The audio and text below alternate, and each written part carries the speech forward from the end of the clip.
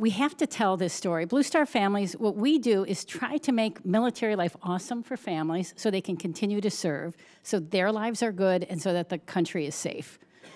But we, and we do that by listening to the families. We have, we're the largest organization that serves military and veteran families, 275,000 members as of this week. We hit that number, 13 chapters in 20 states. And what we hear from our members is that they're lonely, they're disconnected, they don't know how to solve the problems that, that are coming their way. They want to continue serving, but the features of military life, which are awesome, are being overwhelmed by the bugs. And no one source can fix it.